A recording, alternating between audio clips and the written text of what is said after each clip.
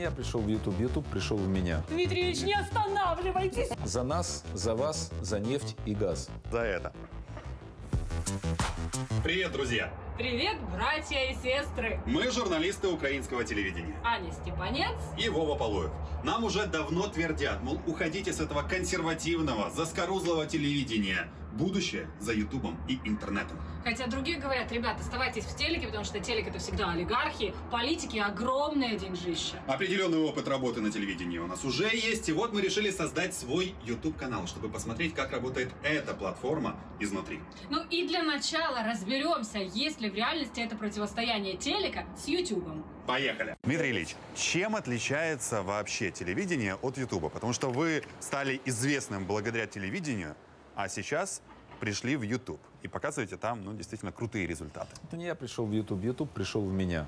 Я думаю, что телевидение становится э, уделом пенсионеров. Пусть спросят меня пенсионеры, многие из которых уже в Ютубе. Я думаю, что в течение ближайших пяти лет мы с вами будем наблюдать смерть телевидения, потому что я очень часто встречаюсь э, с, со студентами. Вот представьте, тысяча, полторы тысячи аудитория. Поиграем в такую игру. Кто из вас смотрит телевизор? Процентов 5 уже поднимают руки. А у кого нет телевизора вообще? Почти все. То есть люди уже не покупают телевизоры. YouTube, интернет, понимаете? И чем дальше, тем больше людей будут отказываться от телепрограмм. Телевизор уже надоел, зомбирует. Вот в России, я не знаю, кого не спрашиваю, не смотрят российские федеральные каналы. Я раньше сокрушался, боже, оно же настраивает. А люди говорят, а мы не смотрим это. А вас в 60 минутах смотрят-то? Меня, да. Цензура на телевидении и в Ютубе. В Ютубе уже пошла некоторая цензура. Если заголовок что-то не то, вот слово коронавирус Ютуб не монетизирует. Мы сделали с доктором Комаровским большое интервью по коронавирусу. Коронавирус пошел хоть на спад или нет? Да. Ютуб его не промонетизировал. Все равно на хайпе все посмотрят. Ну, полтора миллиона посмотрело. Но монетизации нет Но я имею в виду, коронавируса. по- почему, почему, почему решили снять монетизацию? Потому что все в погоне Есть за хайпом слова, говорят о коронавирусе. Есть у них слова, Или да, они это рассматривают как социальную Например, какую-то деятельность? про геев, про коронавирус, про м, какие-то извращения, там, они это не монетизируют. Вот это небольшая цензура, я считаю, все-таки есть, потому что YouTube должен быть территорией свободы, на мой взгляд. Самоцензура, насколько э, она активно применяется в Ютубе, ну, потому что так или иначе каждый блогер имеет свою аудиторию. Не Самоцензура- попадаете ли в зависимость от своей аудитории? У меня есть, у других нет. И это нормально, но если показывают артиста Алексея Панина, допустим, с ногой, да, ну, значит, цензура же не коснулась этого. Телевидение это дорого. А YouTube. Можно ли сделать успешный YouTube канал без э, вложений денег? Ну вот мы садимся э, с моим старшим сыном Ростиславом. Он мне настраивает мой планшет. На той стороне Мордора садится э, господин Белковский. Настраивает сам себе свой планшет. Станислав, добрый день. Добрый день. Мы делаем с ним интервью на полтора часа в Ютубе, которое приносит э, заработок мне порядка полутора тысяч долларов. Я при этом не вкладываюсь ни в камеры, ни во что уже не вкладываюсь. Или мы садимся с господином Миларионовым вдвоем, и мой сын снимает на фотоаппарат нас од- одним фотоаппаратом. И тут же выдает, или на, скажу страшную вещь, на iPhone. И тут же выдает.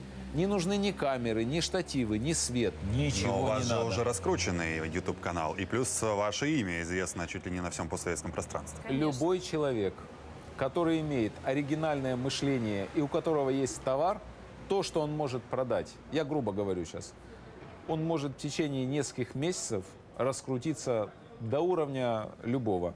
У меня, я горжусь, у меня на двух YouTube-каналах больше миллиона шестисот тысяч подписчиков. Так это слезы по сравнению с тем, что молодые ребята 19-20 лет шарашат уже такое, красавцы. Поэтому, если есть товар, будет покупатель. Если ты серый, никому не интересно, ну, не скули, занимайся другим делом. Не лезь в В YouTube. общем, наш разговор, снятый на айфончик, как раз таки проверим сегодня, сколько людей посмотрит. А наш айфончик гонит самогончик. Какой полезный айфончик. Никто, ребята, не поставит нам заслончик. Но за это. За это. Александру Яковлевичу Розенбауму попутно передаем привет автору этой песни. Александр Яковлевич, лайкайте, подписывайтесь.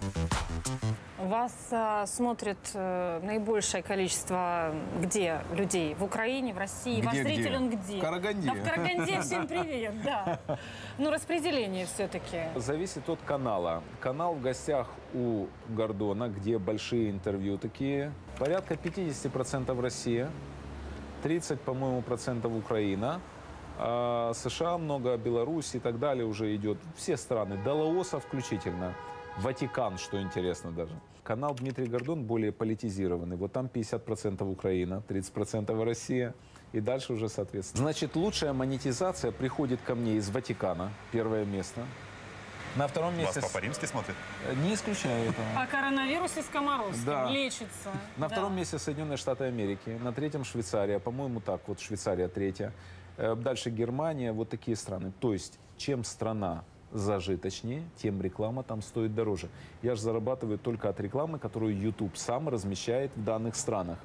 Если это Украина, это дешевая реклама. Если это США, это дорогая реклама.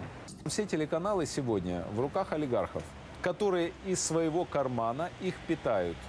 Но многим олигархам это уже надоело, потому что это ничего им не дает, как оказывается, в результате. И они хотят продавать. Вот э, один из э, самых успешных наших олигархов, у которого несколько каналов, он их все выставил сегодня на продажу. Продает. Это не Запад, где телеканалы живут за счет рекламы, и как-то они еще даже в плюсе. У нас это все очень сильно минусово. Это значит, что оно отпадет рано или поздно. То есть, смотрите, газеты. Еще же недавно газеты были. Газеты решали все. Да ваш бульвар, это, слушайте, The Да, Sun и так да, далее, да, это же мировые да. лидеры. А сейчас нет, все. Пришлось отказаться. На смену крестьянской лошадке идет, соответственно, Идет мотоцикл и паровоз. Поэтому уже реактивные самолеты полетели. Все, YouTube это реактивные самолеты.